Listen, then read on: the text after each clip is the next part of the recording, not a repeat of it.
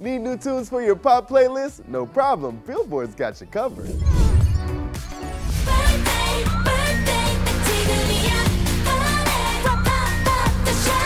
K-pop supergirl group Red Velvet are back with Birthday, and it even samples the classical Gershwin's Rhapsody in Blue. So high, oh gosh, if you're looking for a good jealousy track, well, we've got that too. Why, tell me why, don't you break up with that guy?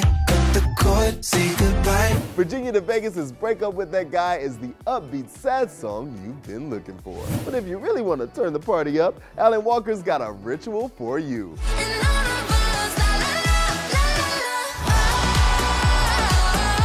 The British Norwegian DJ really knows how to get a crowd going, and we love to hear it. For our full playlist of cool new pop songs to get through your week, well, head to Billboard.com. I'm Tetris Kelly for Billboard News.